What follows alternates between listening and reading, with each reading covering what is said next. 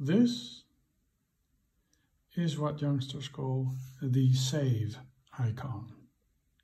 And it's a Lego set from a design from BuildaMOC. Bought this with my own funds. And I found it rather hilarious that a whole generation of adults actually calls this the save icon. I would actually call this a very life-sized mock-up, a bit, bit thicker. It's almost like a, uh, a zip drive, zip disk. A life-sized uh, mock-up of a uh, single density, no, a, a, a double density, uh, three and a quarter, no, not three and a quarter, three and a half inch floppy disk. The, the, the things that you would use on Amiga or an Atari ST or an XT PC holding no less, no more than 720 kilobytes of data. This is a three and a, a three and a half inch floppy disk. Not just the save icon, I'd say, but yeah, I'm old. Cool, isn't it? It's just this this whole thing. They got it down. This little nook and the uh, the locking hole, and then the uh, write protect the, or, the, or the other way around. Now, I, you know, this looks right, and it, I think this looks right. I think it's supposed to look like that, and they go that way, and then you just put them in like that. It's been such a long time, I actually forgot, but it looks, it looks very familiar. When was the last time you used a floppy disk? Uh, I asked the wife. She looks at me, shakes her head, doesn't want to be in the video. It's been years, wasn't it? For me, it has been years. And um, de floppy disk die grote platte waren. She's in. She's in. Yeah, we call this floppy disk. This this is uh, a three a three and a, uh, three and a half inch floppy disk. They call it floppy disk because the disk inside is floppy, but the casing is not floppy. How did you call the the, the large floppy thin, disk? Yeah, floppy it's disk. a three and a, what is it? A five and a quarter inch. They use them with uh, PCs, old PCs, 160 kilobytes per side, or 360 if you had a double-sided one. Uh, yeah, you had they, they had eight-inch floppies as well. They're like like this big, like the, the size of it, uh, exactly the same, but they miniaturized them. And this is actually the, uh, yeah, they at the end they became so unreliable I remember writing my thesis and uh, writing uh, my thesis on a uh, on a PC with WordPerfect. You'd save your thesis, the file you'd save on a floppy. We did have a network, but the printer was not hooked up to the network. You actually had a, a, a printer uh, and a computer hooked up to that with a copy of WordPerfect.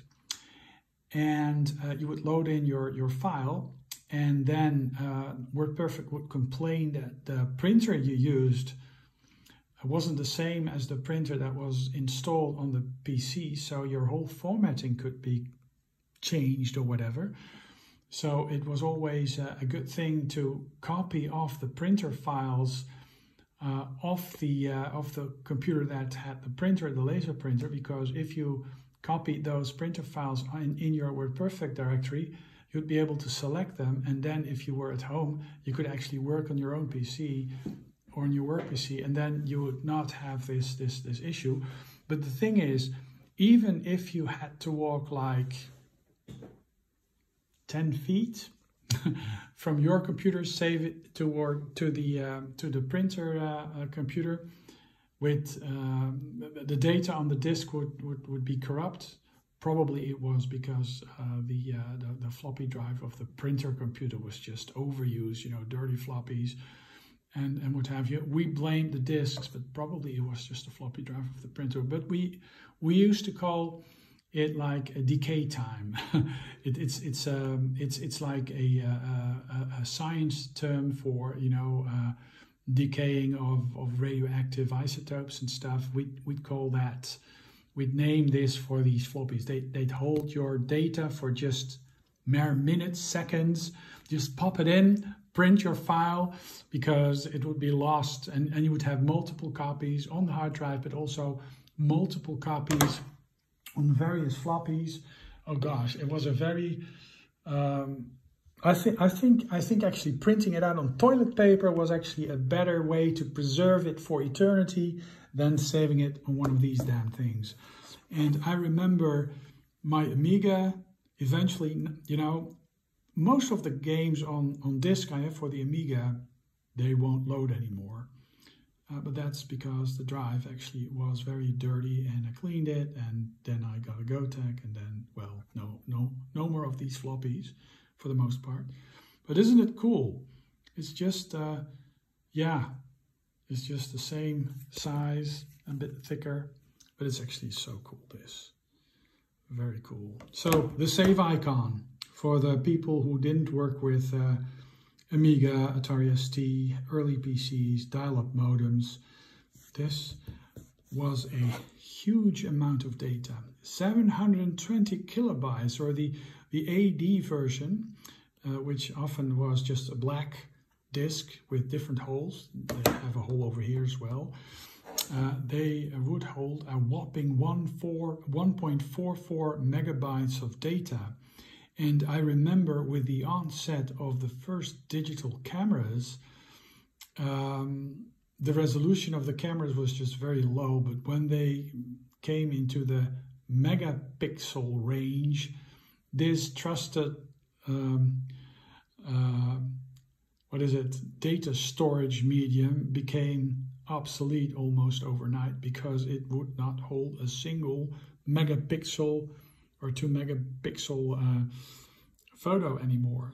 Well, because of JPEG compression, things actually uh, uh, they they managed to keep uh, did they managed to hold on a bit longer because that was a time when most of these digital cameras only saved in JPEG, right?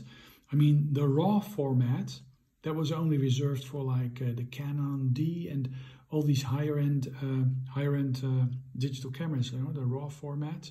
Of course, you you would never be able to store that on one of these. You'd have a, a gigabytes of data on an on you know one of these. Uh, oh gosh, compact flash or uh, SD cards, and you had a, a mirage of, of different formats. I remember uh, at least having a camera that had a, a little little SD card which was very fast, but it was only you could only read it in a in a specific reader, and I had none of my other systems ever used that card. I, I'm I'm not sure. We still have the camera, but I'm I'm really not sure what it was called. It's like uh, it had a, a bowed surface on one end, and it was a bit wider than an SD card, one of these uh, mini SD cards, but it was just a weird rectangular bowed thing. Really weird. Yeah. Anyways, the save icon.